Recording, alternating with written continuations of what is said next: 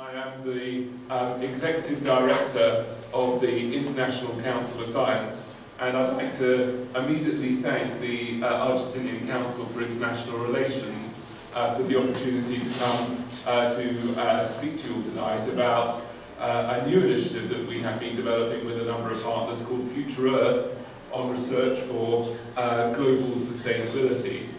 But um, just before I start with that, I thought I would say just a few words about ICSU, the International Council for Science. Uh, our president, Professor Lee, has already been uh, introduced to you because I'm not sure how well uh, ICSU is known uh, amongst your membership. So just a, uh, so just a few words on uh, ICSU to start with. Uh, we were formed in uh, 1931 and we are a membership organisation. We have 120 uh, national members, mainly National Academies of Science and other similar organisations, um, together with 31 international disciplinary scientific unions, like the International Union of Pure and Applied Chemistry and the International Union of Pure and Applied Physics. And together, we work towards the mission that I'm showing on this slide, strengthening international science for the benefit of society. So for us, scientific excellence is important, that we are strengthening that excellence, and that excellence has a purpose. It's there to provide uh, benefits uh, from, uh, for society at large. And our vision is all about uh, working towards a world where science is used for the benefit of all, excellence in science is valued and scientific knowledge is effectively linked to policy making. And in such a world, universal, universal and equitable access to scientific data and information is a reality, and all countries have scientific capacity to use these. So that's our vision. And lastly, our main, or our three strategic priorities cover, first of all, international interdisciplinary research programs. This is an area perhaps we're best known for. We sponsor programs like the World Climate Research Program and the International Geosphere Biosphere Program that bring together scientists from across the world in those cases to work on global environmental change. Secondly, we work at the science and policy interface.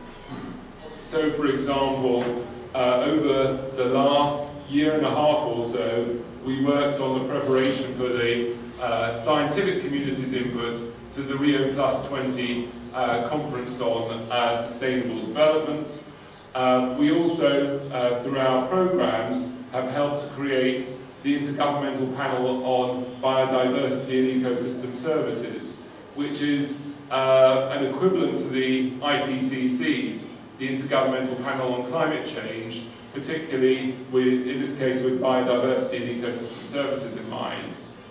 And the third area that we work in is what we call the universality of science. So the ability for scientists around the world to be able to conduct science freely but also recognise the responsibilities that they have and also to make sure that the scientific data that they produce is, as far as possible, freely available and exchanged across national boundaries. So hopefully that has given you a little taster of what uh, of what ICSU is about. We used somebody, I think, I think Jerry already mentioned that the um, what's that extra U at the end of our uh, end of our name. We used to be called the International Council of Scientific Unions. We're now the International Council of Science, but the term ICSU was so well known that it has uh, that it has stuck. So let me go on to talk about a, a new 10-year initiative on research for global sustainability that we are developing. And when I say we, this is actually being, it's being developed by ICSU, but together with an alliance of, part, alliance of partners. And that coming together, which I'll talk about a little bit later, between um, a number of important international groups working on environmental change, is quite important to the way that um, future, Earth, future Earth will operate. So what's the backdrop? Why has uh, Future Earth been uh, developed? Well, I think in part it's at, um, at least, uh, or at least in part, associated with the understanding that we're moving into a new geological era, which some people call the Anthropocene. The recognition that the human footprint, that human actions um, in terms of uh, our impact on the climate system, in terms of biodiversity loss, in terms of polluting uh, the oceans, in terms of resource use, are having a clear footprint uh, on, uh, on the Earth system um, with uh, some uh, concerning uh, some concerning effects, and um, it's this generation of scientific community and the, and the society more broadly that has recognised this, but also has the opportunity to help create the knowledge required to respond for, the, for society today, but also for future, uh, for future generations to come.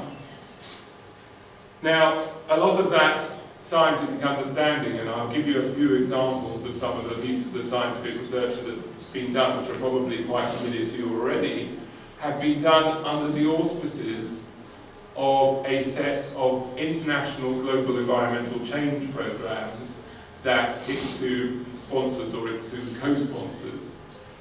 The first of those was created in the early 80s, the World Climate Research Programme, which is sponsored together with the World Meteorological Organization and um, its equivalent for, uh, for oceanography.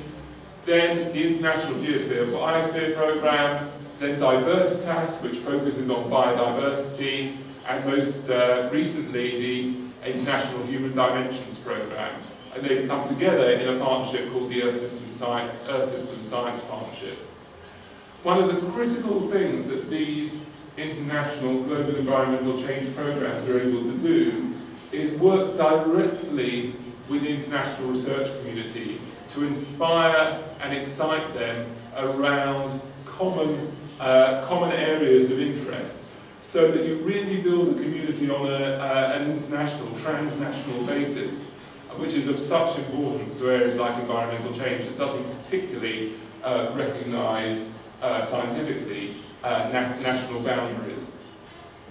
Just looking at um, some examples of some of the work that's come from these communities and from others in the uh, last months and years. Um, this report from the Intergovernmental Panel on Climate Change on uh, extreme weather events was published a few months ago. And um, it shows that over the coming um, century, more or less all of the scenarios that we typically use, that um, the uh, hot weather days in most parts of the world will increase significantly in their uh, frequency over the period of uh, the century. Severe, you know, I'm talking about uh, uh, severely hot days, and similarly in terms of uh, days with severe rainfall. Again, for most parts of the world, under most emission scenarios, and for the higher emission scenarios, the situation is even, uh, even more significant. Again, an expectation of uh, higher incidence of high rainfall events. I think the other, the other interesting part about this is that you know, that is, uh, those are projections, but the observational data, so what we've been able to observe over the last years, already starts to uh, already starts to show these trends. Secondly, uh, a piece of data from industry, which I, is going to be too small for you to be able to read, but this comes from the reinsurance industry, in this case from Munich Re, and shows over time, you know, time along, uh, time along this axis, um, the trend in uh, major insured losses the red line at the bottom are the earthquakes and volcanoes, the uh, solid earth geohazards, where you don't see any particular trend and you wouldn't expect any. But in terms of the losses associated with what I would call hydrometeorology, those areas associated in some way with the climate system, there's already a fairly clear signature over the last few decades of uh, an increase in insured losses. And a third area, a piece of work very recently published under the auspices of Diversitas, that's the International Programme on Biodiversity, um, showed what you might think of as quite a simple result, but it's a very important one.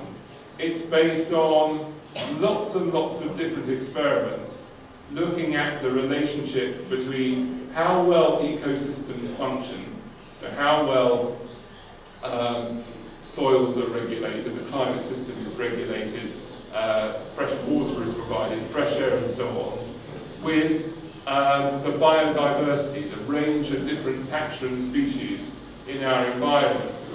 And what it shows is over a whole range of uh, species and taxa that as you decrease the biodiversity, and that's exactly what we're doing uh, as a population in general, that ecosystem function, the health of our ecosystems, uh, degrades as well. This is a very important result because we all rely on a range of ecosystem services uh, in our daily, daily lives. Typically we don't value them, but we uh, often treat them as, uh, as free goods. But they're very, very important to our, uh, to our, sustain, to our, sustainability, to our sustainability. Now, that's some of the work that's been done so far, but I think there's a broader recognition now that society is facing a range of sustainability challenges going forward. Be it in the future about how we're going to feed 9 billion people within the sustainable planetary boundaries of what the Earth system can provide, how do we value and protect those, uh, those ecosystem services that I was talking about earlier, um, how do we adapt to a warmer and more open world? What are the options for transitioning to a low-carbon society? There are a whole range of uh, environmental and sustainability challenges that we're facing. Many of these, of course, were recognised at the Rio Plus 20 Conference on Sustainable Development. Uh, some of us, maybe all of us, I don't know, uh, will have been disappointed in the political outcome of that meeting in terms of not, uh, from my perspective, responding to the urgency uh, that was required in terms of the scientific evidence. But yet again in the outcome document, uh, Rio Plus 20 recognised the role of science and technology and recognised that we're going to have sustainable development goals in the future that they have to be science-based. So it is another call from the, from, from the scientific community for new knowledge and for the application of existing knowledge to be able to respond to some of these challenges. I've shown you some of the, uh, just a few pieces of uh, research that have already been done. Uh, what are some of the challenges going forward? Because they're not all the same as uh, work that's been done, to, done so far. The first is uh, a reminder for me that some of the areas that some people take for granted about environmental change are really not actually resolved. This is um, performance a um, ocean buoy and it's a sequence of ocean buoys that run across the Atlantic to measure the strength of the Gulf Stream. Many of you may have heard about uh, concerns about that if the uh, Arctic continues to melt, and those of you watching the news will have seen uh, NASA reporting a few days ago that uh, Arctic sea ice loss this year is at an all-time uh, record, uh, record low. That will change the salinity structure of the ocean change uh, ocean circulation patterns and potentially change uh, what some people refer to as the Gulf Stream. But really, the scientific evidence is not, uh, is not clear on this.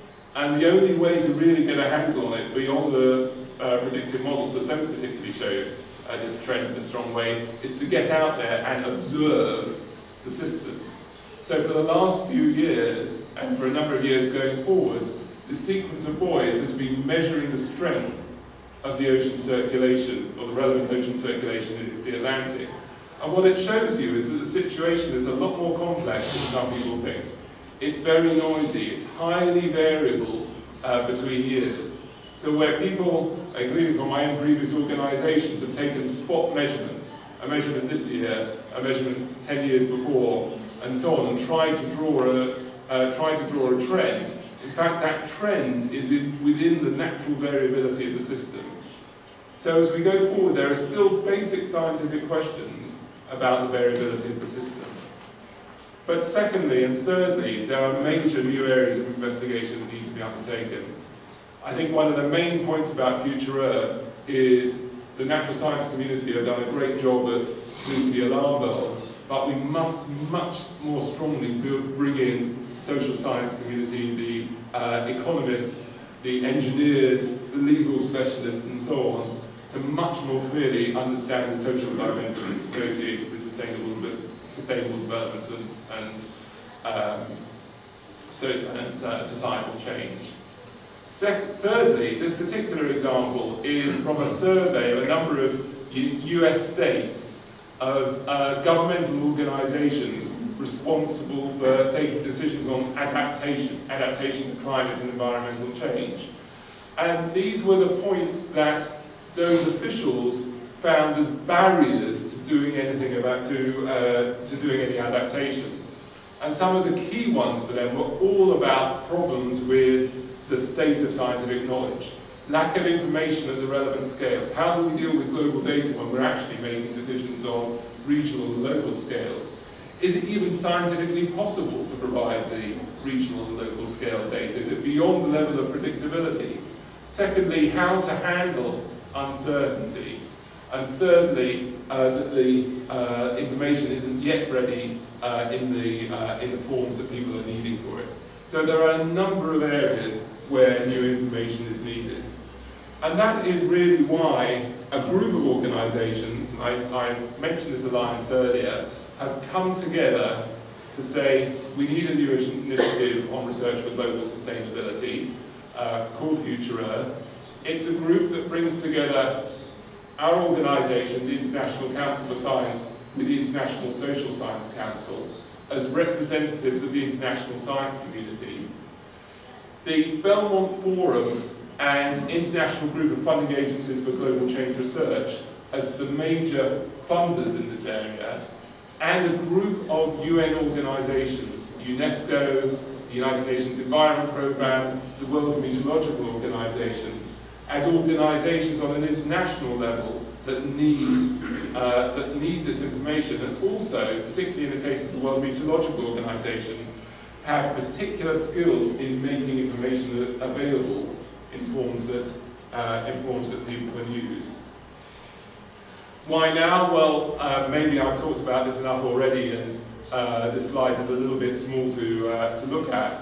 But apart from all the points that I've raised already, why now? Well, we think there is a growing sense of urgency to respond. If you look at the trends in a whole range of environmental factors, be it water use, be it urbanisation, be it paper use, they are all in, uh, they have all increased dramatically over the last few decades. We are putting tremendous pressure on the Earth system and some scientists, and that's what's represented on the right-hand side, say this is a critical point because in some areas, particularly question marks about biodiversity loss and the operation of the nitrogen cycle, scientists are questioning, are we approaching, or are we past safe planetary boundaries for uh, the, the, stability of uh, the Earth system and its, and its relationship with society. So Future Earth, what's it about? Well, the goal of the programme is to provide the knowledge required for societies in the world to face the risks posed by global environmental change and to seize opportunities in the transition to global sustainability. And in simple terms, it wants to, the programme is being designed to be able to answer questions like how and why the global environment is changing, what are the likely future changes, what are the implications are for human well-being and other species, and then important, particularly importantly, what choices can be made now to reduce harmful risks and vulnerabilities and enhance resilience, and how can this knowledge help support decisions and sustainable development. So it is action and uh, solution orientated. The initiative absolutely builds on those international global environmental change programs that I talked about earlier but it's pressing us to work uh, in an even more aggressive way. I think some of the key words are on this slide. The one, or the two that maybe are most important to me are, first of all, more integrated. That means we have to bring the range of scientific disciplines and beyond the scientific community that are needed together to work together to be able to respond uh, to some of these challenges. The natural sciences, the social scientists, the engineers, and so on. And secondly, I'm just going to highlight a couple of these points. The programme is highlighting the idea of co-design. When we are designing the research priorities and how the research is going to be undertaken. We need to involve the potential beneficiaries of that research in that initial design process. If the outcomes of the research are going to increase the chances that the outcomes of that research is going to be more responsive to societal needs and the grand challenges associated with sustainability. The initiative is, uh, over the last year or so, and by the end of this calendar year, has been designed by a transition team. They are global change scientists, uh, natural scientists, social scientists, sponsored UN organisations from all over the world. Um, they're chaired by Professor Diana Liverman from the University of Arizona and Professor Johan Rockström from the uh, Stockholm, uh, Stockholm Resilience Centre. And they are charged with doing uh, three things plus one. They are putting together an initial research framework, they are setting out how the initiative is going to work, they're setting out an engagement strategy for communities beyond the programme, and the plus one is that they're thinking about a name for the initiative. And I've given the game away because I've already told you it's called Future Earth. But I have to say that whilst there's lots of challenges in this work, the one thing that was gratefully received was a name for a program that wasn't an acronym.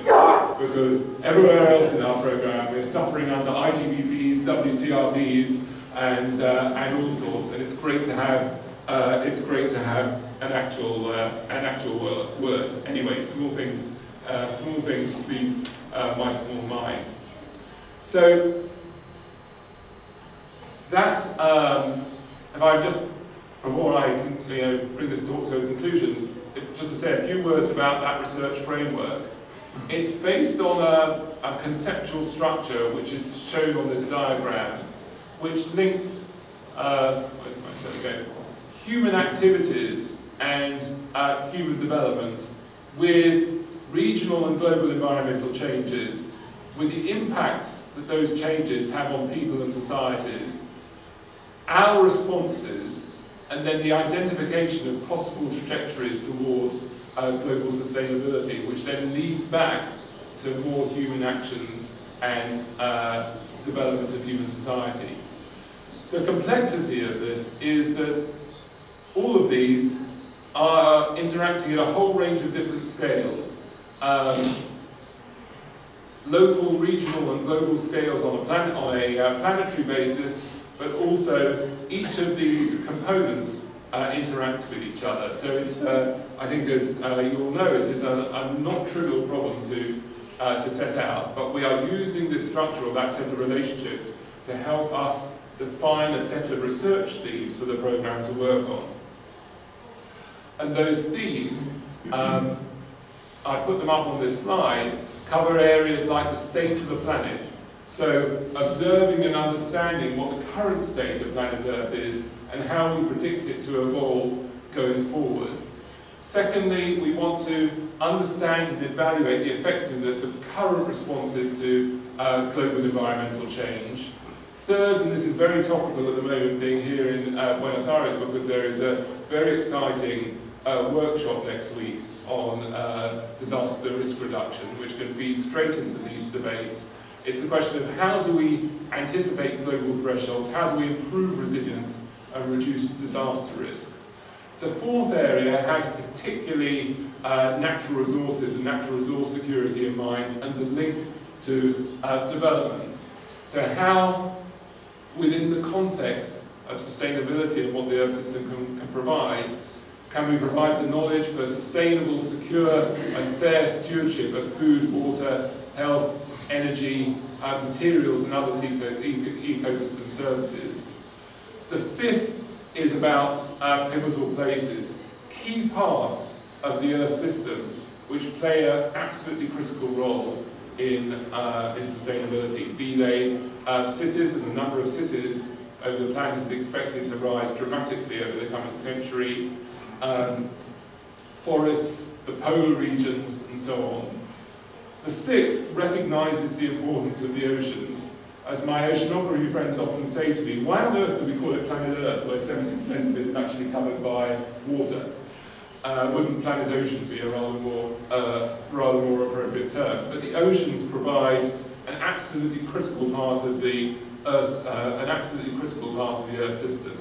You know, we often talk about uh, the Amazon and so on as the, uh, one of the lungs of the Earth system, of course, the uh, biological life the oceans, the phytoplankton, are, uh, are, its other lung, are its other lung. And the seventh, seventh theme is to look into the longer term and think about and test what are the possible transformative pathways, what are the possible approaches that can be taken towards a more sustainable future. I won't go into them now, but each of these themes has a, a, first set of research questions to look at, for example, on oceans. What's the capacity of oceans to take up CO2? How do we govern sustainable fisheries? And, uh, and so on. And at the moment, this research framework is going out into the community for it to be tested, for it to get feedback, and uh, for it to be developed further. And again, uh, with this region in uh, mind, there'll be a, a, regional consultation, I think, in uh, again hosted by our regional office, which will be in Mexico, which will be in Mexico in uh, in uh, in December. Now, to go with those themes, there is a recognition that there are a whole set of cross-cutting capabilities that are needed to be able to deliver this research, but they're bigger than any one research program can provide. What Future Earth hopes to do is to work in partnership with other organisations like the Group on Earth Observation, or those centres that provide high-performance computing and data curation, to make sure that by working together, we can establish what the entire uh, community needs. So um, just to finish up, where are we now? Well, Future Earth was launched at a major conference in London called Planet Under Pressure, and uh, then in particular at uh, Rio Plus 20. Some activities have already started, so the International Environmental Research Funders have already started to create opportunities for scientists, not just in one country, as they typically do, but on a transnational basis to work together. Their first opportunities were on coastal regions and on water security. The International Social Science Council is already getting going uh, with programs uh, as part of Future Earth. But whilst this is going on, because those are sort of early kick-off activities, we are going out into the research community and to our stakeholders now to better design uh, this research framework. So I think that brings my uh, introduction to uh, Future to a conclusion please, if you're interested, first of all, I hope you can uh, discuss and debate a little bit now, but if you're interested in further information, do take a look um, at the ICSU website, www.icsu.org, where you'll also find much more information about our programs.